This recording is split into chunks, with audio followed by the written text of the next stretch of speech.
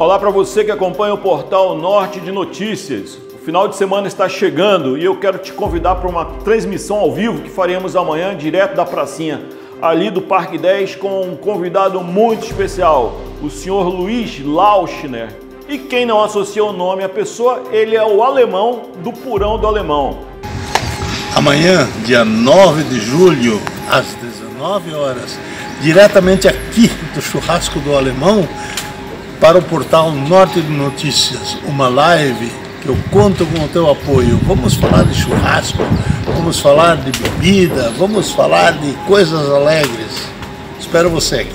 Mas, como eu disse, teremos o seu Luiz Laucher nessa, nessa eh, transmissão ao vivo. Nós vamos fazer uma noite gastropoética, porque além de ser um excelente gastrônomo, um homem que trabalha com carnes, as melhores carnes, senhor Luiz é poeta, veio para a Amazônia muito cedo, entendeu o comportamento do Amazônia, compreendeu a floresta e ele tem obras belíssimas.